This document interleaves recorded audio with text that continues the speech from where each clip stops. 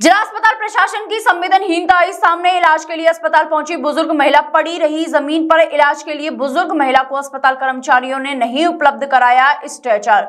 घंटों से ज़मीन पर तड़पती रही बुज़ुर्ग महिला। विशेष सचिव प्रशासन सुधार विभाग का जिला अस्पताल में चल रहा है। औचक निरीक्षण, शासन के दूतों को भी नहीं नज़र आया महिला का दर्द। हाथरस के जिला अस्पताल में अस्पताल प्रशासन व चिकित्सकों की गंभीर लापरवाही आई सामने।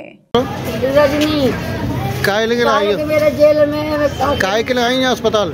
जब पेरेंट की चरिया करवावे।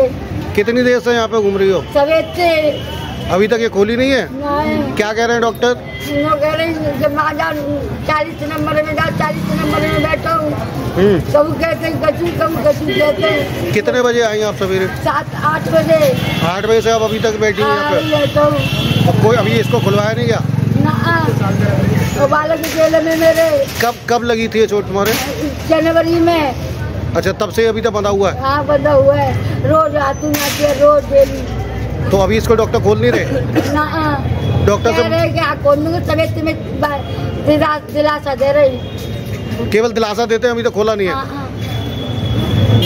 कहाँ की रहने वाली अम्मा? नाम क्या तुम्हारा? रजनी। उपल नर्सिंग होम जहाँ आपको मिलती हैं विश्व स्तरीय चिकित्सकीय सेवाएँ आँखों की जाँच, dental surgeon eye care centre आदि अन्य सुविधाएँ केवल एक ही छत के नीचे।